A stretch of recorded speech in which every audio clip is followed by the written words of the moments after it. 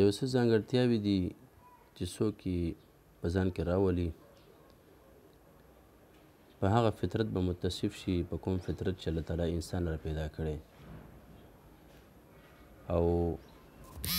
انسانان لپاره خوښ کړي دي دې لپاره چې په خورا ښکلي بدن او بشپړ شکل کې وي رسول الله صلی الله علیه وسلم فرمایلی دی پنځه د فطرت فطرت کارونو څخه دي سنت کول د نوکانو پرې کول نامه لاندې ویښتان خریل د تخرګونو ویښتان ویستل او بریتونه واړه کول استحداد ورته ځکه وایي چې په دې کې اوسپنې استعمالیږي لکه پاکي یا چاړه وغیره دا د خریلو پرته هم لرې کېدی شي لکه په مصنوعي کریمونه باندې هغه لرې کول سنت د نارینو په حق کې واجب دی او په اومه ورځ یې سنتول ښه طریقه ده ځکه چې دې سره ماشوم زر رغیږي او ماشوم په ښه توګه وده کوي د بریتونو پرې کول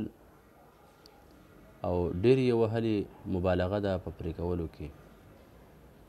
ځکه چې په دې کې خایست او پاکوالی دی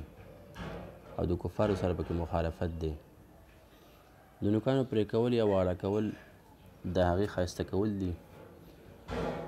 او د هغې لاندې راټول شوي کثافات لرې کول دي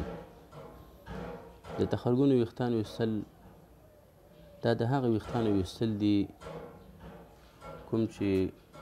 په هغه کې وده کوي د هغې ویستل یا نورو شیانو سره یې لرې کول هم سنت دي ځکه چې د هغې په له منځه وړلو سره پاکوالی راځي او د هغې بدبویي ختمیږي د دې پنځو صفتونو سربیره نور کارونه هم شته لکه د ګیري پرېښودل د مسواک وهل او پوست ته اوبه اچول او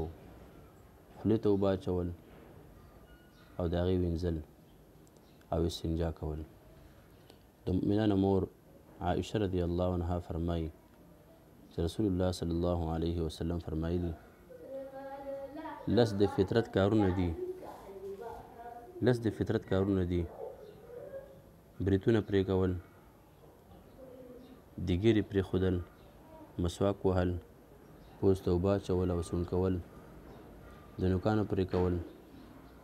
د ګوتو بندونه وینځل، کوم ځای کې چې خیر جمع کیږي، د بغلنو ویښتان وباسل، د نامه لاندې ویښتان خریل او استنجا کول او خولې ته اوبه اچول.